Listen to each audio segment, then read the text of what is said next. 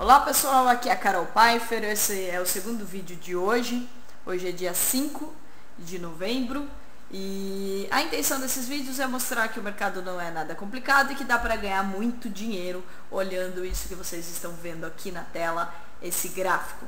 Análise técnica é uma análise que a gente usa bastante.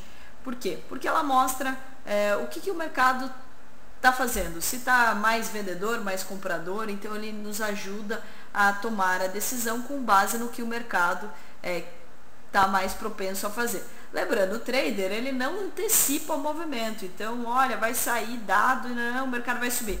Isso para a gente não importa.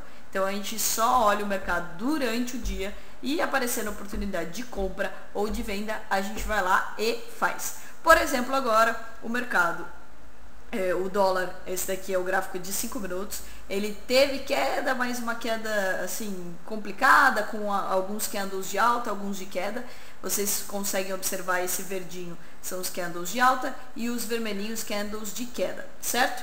E aí eu estava aqui olhando o mercado, ele tentou subir, formou esse candle aqui, olha que interessante esse candle.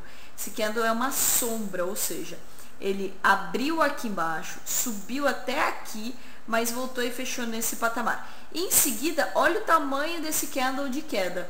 Ou seja, além de não ter força para subir, né, não teve, teve muita gente que entrou vendendo, é, ainda em seguida teve um candle muito grande de queda. E eu coloquei como patamar vender na mínima desse daqui, ó.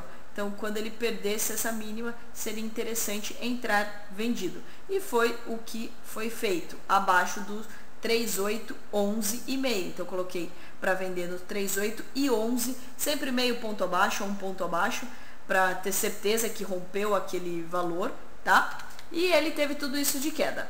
Bom, quando eu estava preparando aqui para gravar para vocês, é, a gente teve esse candle aqui, ó, que é um doji, ou seja, ele abriu e fechou no mesmo valor. Então ele abriu aqui, ele teve a queda, mas ele conseguiu entrar comprador, subiu e segurou. Esse segundo, eh, esse candle em seguida aqui, ele estava se formando ver, verdinho. Então ele estava tendo um, um, lado positivo, estava subindo.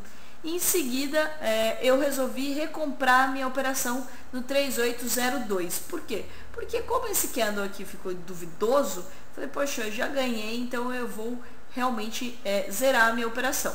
Se você não quiser zerar, você acha que o, que o dólar, por exemplo, vai cair mais, o que você pode fazer? É recomprar uma parte e ficar com outra posição e esperar cair. Aí você coloca os stops e fica acompanhando. Eu já falei disso aqui no Operando, tá? É, esse resultado, como que foi o resultado dessa operação, que isso é o mais importante de mostrar para vocês entenderem como a gente ganha dinheiro. Então, venda do dólar do 3,8 e 11 com compra no 3,802. 10 contratos do mini, ou seja, do mini dólar, daria 900 reais. Se você operar 20 do cheio, 9 mil reais.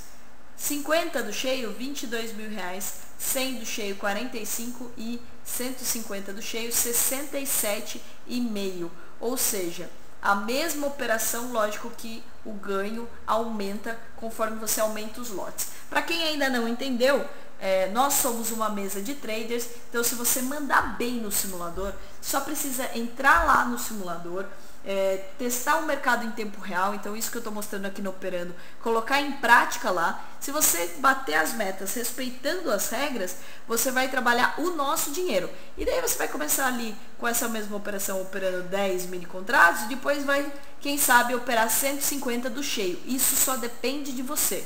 A gente vai aumentar os seus volumes conforme você mande bem. Aí, a todo pergunta, o que é esse vermelho aqui? É o stop. Então, Toda operação tem que ter stop, você tem que estar tá policiado nisso. É, Para montar o meu stop, eu olhei o gráfico aqui de 6P. Então, durante a venda, vendi aqui. Então, eu já coloquei uma compra aqui em cima. Porque quando ele rompeu, se ele voltasse a subir e rompesse esses três candles aqui no gráfico de 6 pontos, provavelmente ele ia continuar subindo e eu ia perder dinheiro. Então, eu estopo a minha operação, eu aceito o prejuízo antes. Lógico que para aceitar o prejuízo você tem que ter estômago também, mas é mais importante um prejuízo pequeno do que ficar aí perdendo muita grana. O mercado já subindo, essas e outras dicas no nosso site.